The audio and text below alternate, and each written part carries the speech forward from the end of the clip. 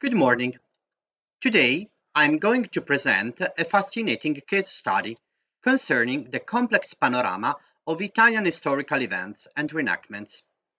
I will present the case study concerning the Palio di Legnano, the oldest historical reenactment in Italy. During the last decade in Italy, we have witnessed an almost exponential increase in the number of historical reenactments Without considering the anthropological and sociological aspects, the number of palio, historical reenactments, and festival concerning the Middle Ages, and the increasing community performance experiences allows us to investigate the role of costume in them. The academic debate has highlighted the fundamental role of the costume design element within the process of building a community identity. Through the use of costume, through the disguise, the so-called embodiment takes place. That is, the personification of history. As already pointed out by several scholars, the specific function of costume in historical reenactment cannot be traced only to a performative necessity or as a tool needed to build the identity of a community. In historical reenactments, costume carry out and performs a specific task. Costume is, in fact, recognizable as a fundamental medium that contributes both to the construction of the character but, at the same time, is the instrument that allows a sense of belonging by communities performing the historical event. Through costume, we can achieve a double aim, the identification of the acting subject and, therefore, the identification of the spectator with the historical reenactment. In this context, the specificity and the effectiveness of the embodiment are given by proactive involvement. In particular, in historical reenactments, communities are involved in designing and tailoring new costumes every year. Now, I would like to say a few words to introduce the case study of the Palio di Legnano.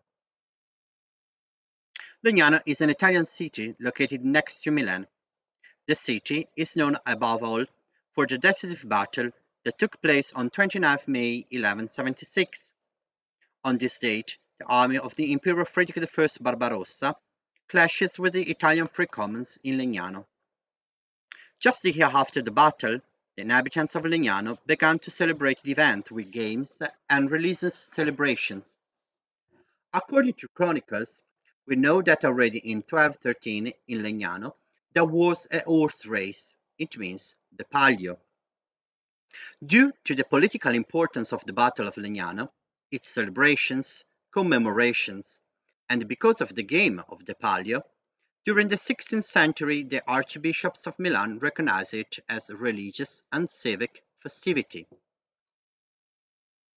Unlike other Italian historical events, the Palio di Legnano is actually given by three specific and insoluble moments. Religious services, which date back to 1176, the historical parade, performed since the mid-19th century, and the horse race. To these, we can also identify other moments which mark the life of the city. All these are performed thanks to the use of historical costumes.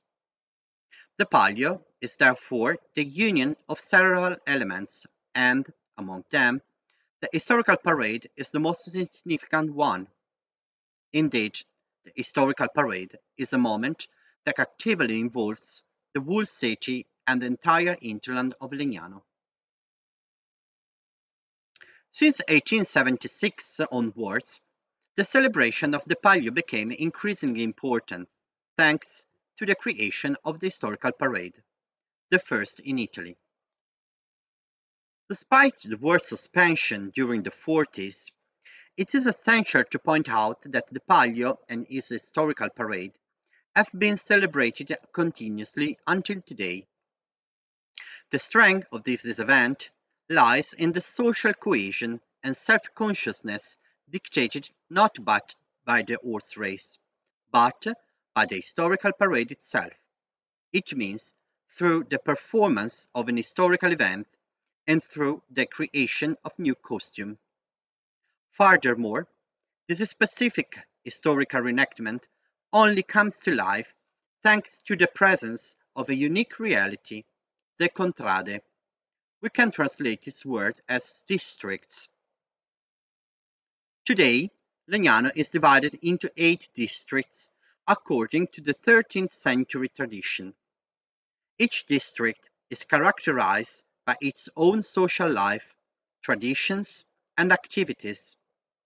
The headquarters, in which the Contrada recognizes, is called Maniero, manor.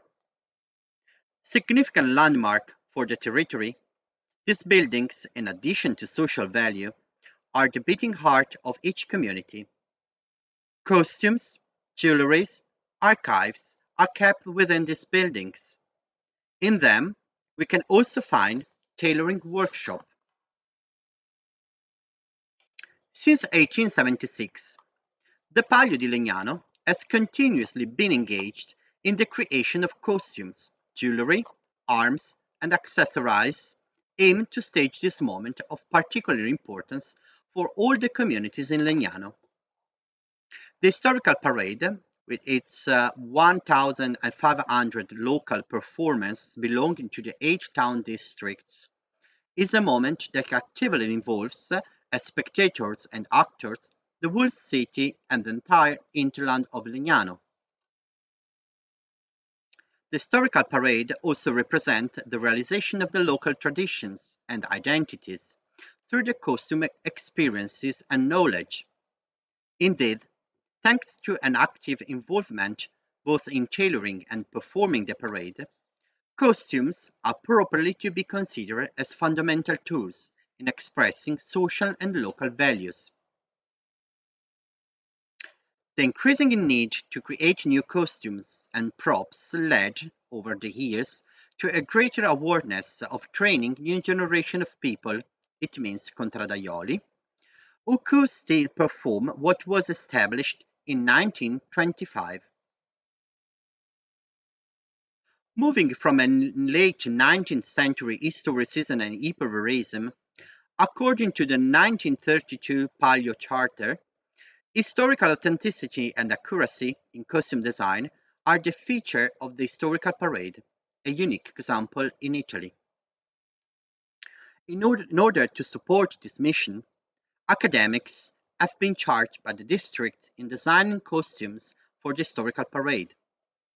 Furthermore, another peculiarity of Legnano, since the 30s, the charter established that all the objects used during the parade must be made exclusively within the contrade.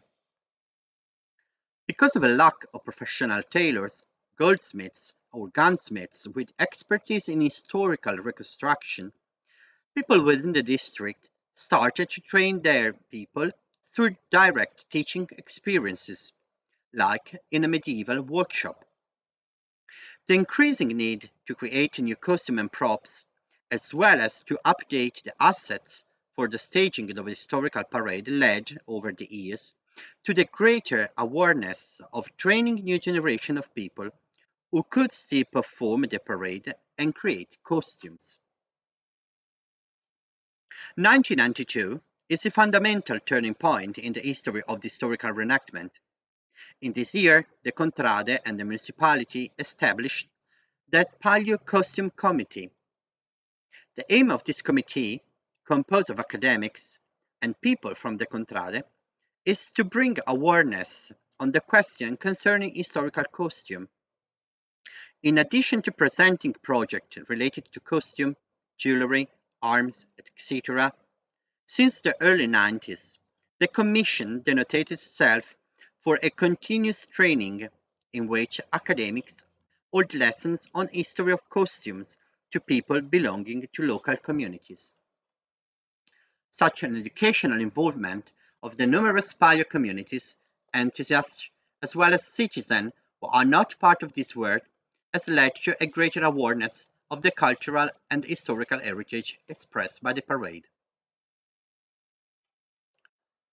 With the Palio Costume Committee, the district had the opportunity to work uh, in a new perspective, particularly thanks to a dialogue between academics and non-experts. Over the last 20 years, the committee was able to experiment with the philological reconstruction of some of the most important 12th century costumes and textile examples. This creation are not to be understood as a simple copies of the original. They are moments of study, research, and, above all, experimentation, as well as training experiences made by the districts under academic control. What has been created within the district over the last 20 years can be considered as a community experience, from iconographic research, sartorial design, to embroideries, costumes in Legnano are the result of work carried out among the people in every single community. These creations are also the result of the union of different professional knowledge and skills, to which artistic sensibilities and practical skills create a sense of identity and belonging in a cultural perspective. During the last years, the performing of the historical parade of the Palio di Legnano has also brought out some problems. The question concerning how to stage history in an authentic way and how to consider local historical tradition is the most relevant one. This issue is not of little consequence. It is closely related also to creative freedom in costume designing and historical tailoring. Over the last few years, the Palio Costume Committee deals with several issues which go beyond the simple stylistic and historical definition of clothing. Actually, during the last four years, the Costume Committee focused on the meaning of which memory and tradition have to be chosen for the historical parade. Today, the Palio Costume Committee deals with the critical decision, especially when during more than 100 years of history, different memories, experiences, practices, and traditions have been added together. Because of these questions, the Commission is still considering which option to choose, that is to say, whether to remain attached to historical memory or to continue under the Commission's guidelines. The problem is far from easy to solve. In fact, precluding a tradition could risk distorting the identity of the historical reenactment. The following example will be useful to understand the recent discussion. It is called the problem of horse harnesses and caparisons. Until the 60s, horse harnesses uh, provided the total coverage of the horse, including the crown piece and the use of bridle covered with precious fabrics. This practice referred to the first Palio edition, and in particular to the cinematographic experiences. Since the 70s, the Contrade gradually abandoned this typology. They began to create horse harnesses which were historically and stylistically correct. The same problem also arose from the riding of the female figure and of the Chastelaine, the most important female character within the Contrada. Although not historically accurate today, women still ride side saddle. This is just because it's a proper tradition within the history of the historical parade. The Palio di Legnano case demonstrates how historical reenactment can be considered as an interesting example of artistic creation. In particular, this case study shows how costume made within the different communities in Legnano are expression of multiple, multiple identities. I really hope uh, that through this presentation I piqued your curiosity and that you can come to visit us and see what being part of this incredible performance is. Also, I would be very grateful if you could share any suggestion or critique. Thank you.